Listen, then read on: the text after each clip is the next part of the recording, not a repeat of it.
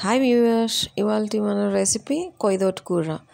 అది లెందీ అయినా పర్లేదు ఆకుకూరలు కడిగే ప్రాసెస్ ఎలా ఉంటుందో ఒకసారి వీడియో చూడండి. ఒకటికి పదిసార్లు వాటర్ వేసి మళ్ళీ వేరే గిన్నెలో తీసి మళ్ళీ వాటర్ యాడ్ చేసి మళ్ళీ కడిగి ఇలా శుభ్రంగా కడిగితేనే తప్ప ఆకుకూర నీట్ అవ్వదు. అప్పుడు మనం వండేటప్పుడు ఎలాంటి స్మెల్ కానీ చిరాకు లేకుండా ఫ్రెష్ ఆకుకూర వండామన్న ఫీల్ ఉంటుంది.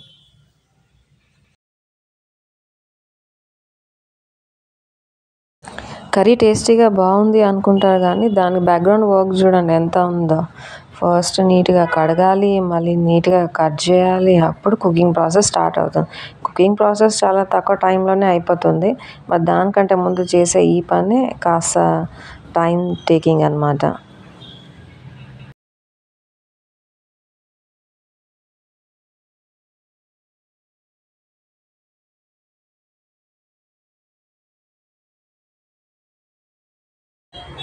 ఆకుకూర తినే వాళ్ళకి అంత ఇష్టం ఏమో కానీ దీనికి కడిగి కట్ చేసే పనే ఎక్కువ ఉన్నట్టుంది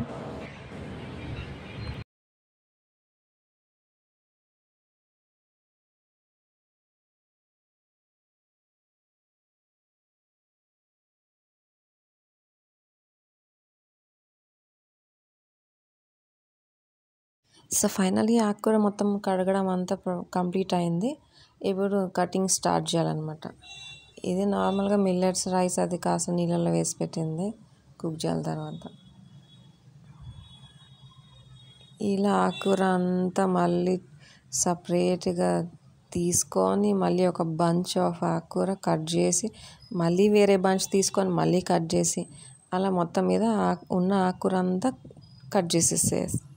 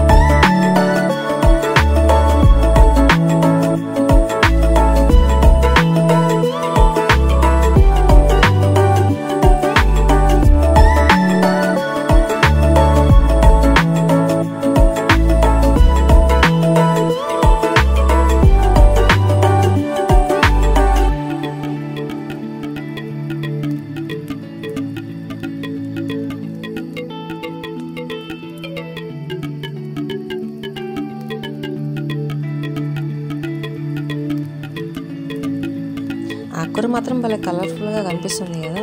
ఆకుకూర అంతా కట్ చేయడం అయింది మొత్తం మీద. సో ఆనియన్ పచ్చిమిర్చి కూడా కట్ చేసేసి పక్కన పెట్టేసుకుంటే అన్నీ రెడీ అయినట్టే.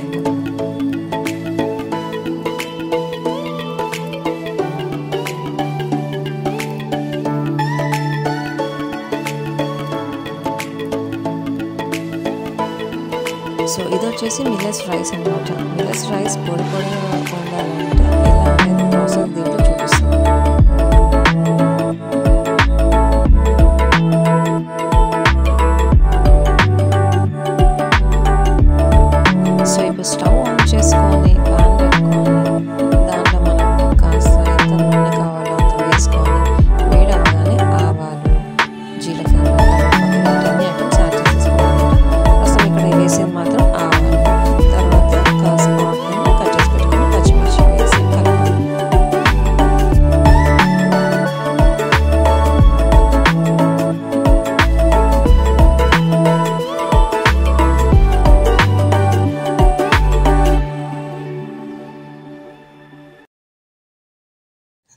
ఆనియన్ వచ్చేసి గోల్డెన్ బ్రౌన్ కలర్ చేంజ్ అయింది. ఇప్పుడు మనం కట్ చేసి పెట్టుకున్న ఆకుకూర ఏదైతే ఉందో మొత్తం అందులో వేసి బాగా కలపాలి. అందుకు ముందు తగినంత సాల్ట్ వేసుకొని కాస్తంత పసుపు యాడ్ చేసుకొని మళ్ళీ కలపాలి.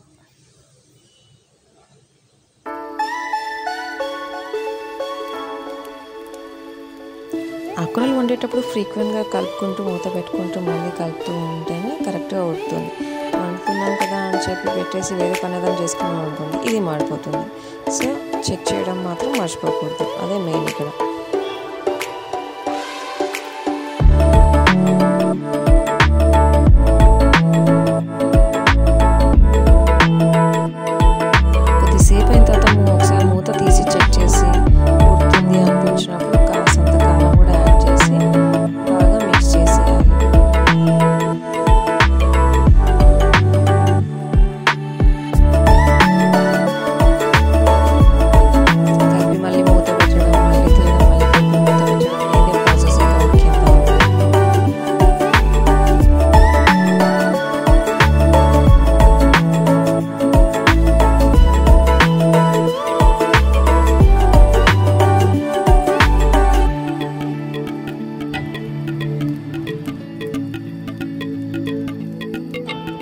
ఇది మిల్లెట్స్ బియ్యం వచ్చేసి కడిగి నీట్గా పెట్టడం అనమాట ఉండే ముందు ఒకసారి బాగా కడిగేసి మళ్ళీ గిన్నెలో తీసి అలాగే పక్కన పెట్టుకోవాలి. దాని ప్రాసెస్ వేరే ఉంది. మళ్ళీ చూపిస్తాం.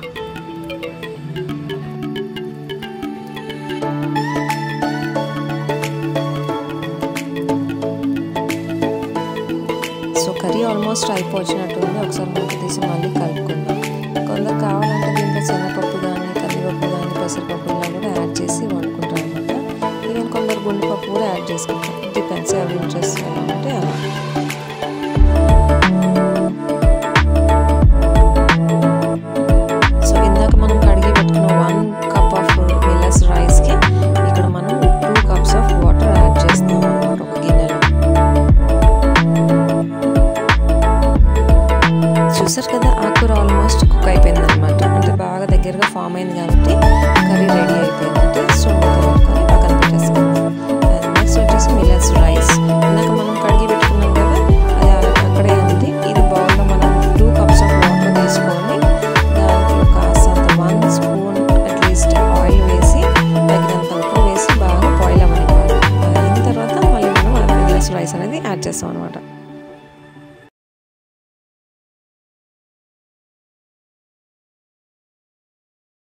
సో వాటర్ అనేది ఇలా బాయిల్ అవడం స్టార్ట్ అయిన వెంటనే మిల్లెట్స్ రైస్ ఏదైతే కడిగి పక్కన పెట్టుకున్నామో అది మొత్తం యాడ్ చేసేయాలి. ఫస్ట్లో మనం చేత్తో తీసి వేస్తాము. బట్ కాస్త అడుగులో మీ గిన్నెలో ఉండిపోయే మిల్లెట్స్ ఎలా తీయాలి అనేది కూడా మనకి సింపుల్గా ప్రాసెస్ ఉందన్నమాట. టీ ఏదైతే వడగట్టడానికి యూజ్ చేస్తాం కదా అది తీసుకొని దాంట్లో ఇది వేసేస్తే సింపుల్గా వచ్చేస్తుంది. అది కాస్త తీసి మనం ఈ గిన్నెలో యాడ్ చేసేయాలి. వేసిన తర్వాత ఒకసారి కలిపేసామంటే అది ఇంకా కుక్ అవుతూ ఉంటుంది. చూస్తూ ఉండాలి.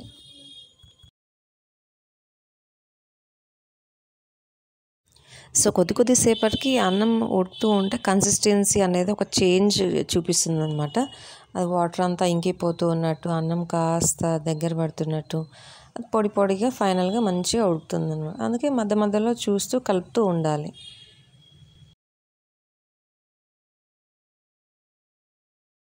ఫైనల్లీ రైస్ బాగా కుక్ అయిపోయింది. పొడి పొడిగా మంచిగా ఉడికింది. ఇప్పుడు మూత పెట్టుకొని స్టవ్ ఆఫ్ చేసేయడమే.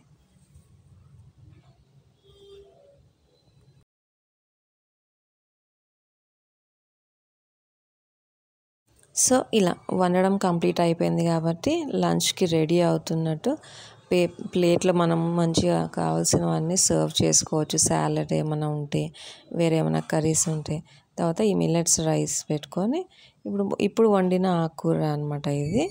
ఇలా కనిపిస్తుంది. నా ఛానల్ని కూడా సబ్స్క్రైబ్ చేసేసుకోండి. థ్యాంక్